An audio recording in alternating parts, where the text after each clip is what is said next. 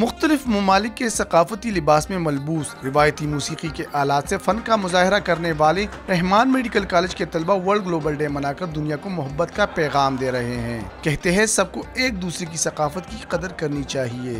یہ آج کا ہمارا ایونٹ ہے گلوبل ولیج کے حوالے سے۔ یہاں پہ مختلف سٹالز سجائے گئے ہیں جو کہ مختلف کلچرز اور مختلف ریجنز آف دا ورلڈ کو ریپرزینٹ کیا جا رہا ہے۔